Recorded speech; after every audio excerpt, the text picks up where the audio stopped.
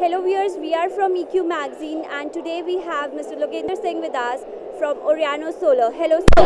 Hello everyone. Uh, can you just brief about the company Oriano Solar and its vision and mission of your company? Yeah, Oriano is a part of our CCL Opto Group and uh, we started this journey from 2008. That was in a different uh, uh, business. We started with concentrated solar photovoltaic power plant where we had uh, partnered with one of uh, uh, Lauren Group and we constructed 50 megawatt uh, CSP based power plant into Gujarat. And uh, thereafter we ventured into photovoltaic. So in 2015 uh, we started Oriano Solar and we are primarily focusing on to EPC of the solar photovoltaic power plants. So can you just highlight over the uh, achievements of Oriano Solar and uh, the projects taken and the innovations as such? Till now we have mentioned 150 megawatt plants and most of the projects are large size projects. Uh, when I say large size projects, it is more than 10 megawatt. We have done 20, 23 megawatt. Then we have done 50 megawatt as well. And this is the way where we are growing ahead, uh, taking up large size projects. Um, primarily utility scale projects that we are doing. And uh, we do have uh, footprints into rooftop segment as well. And uh, this is this is something which we are doing right now. So can you brief more about the technology and the pricing roadmap? Uh, we are uh, uh, we are primarily focusing on to photovoltaic only, and uh, into that there are different kind of versions which is coming. Uh, be it thin film, we have also done 50 megawatt. We have done with polycrystalline. Uh, now upcoming technologies are like bifacial. We are also exploring there. Per anyhow it is there, so it is not going to make much of a difference. But I guess we are okay with that as well. So technology, right, whatever coming to polycrystalline now, when it is coming to the crystalline technology, we are there, photovoltaic. And uh, pricing, we are uh, highly competitive into the segment, and that is one of the reasons that uh, we are growing with much higher pace into the market.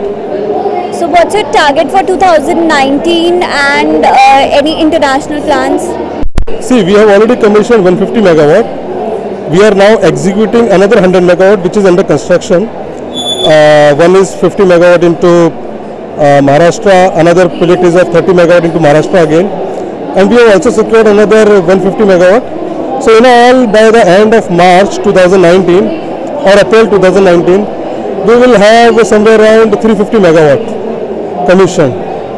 So do you think can we like really achieve uh, till 2022 uh, 100 gigawatt? Uh, it's quite tricky as of today. It's quite tricky as of today uh, because there are a lot of ambiguities into the market.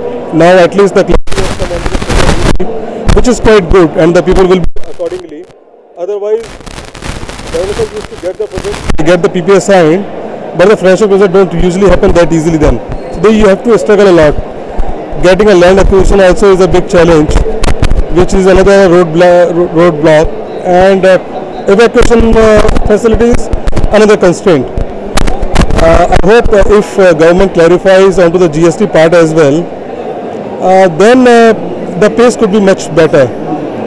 So reaching 100 gigawatt by 2022 is slightly challenging, but I don't see, yes, possibilities there. There are so many investors which is coming into the domain and with which the possibilities are definitely there. And people are very optimistic, aggressive. So I see possibilities there, but yes, we have to get some more clarity onto other other parts as well. Uh, what's the like what are the projects in pipeline as?